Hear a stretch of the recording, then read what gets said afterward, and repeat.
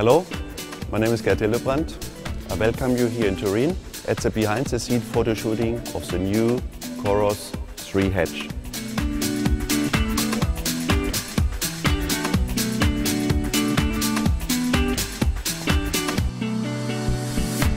The car has a very dynamic and sporty appearance. It's compact in its overall visual appearance, but big in its inner values of size, comfort and ergonomy.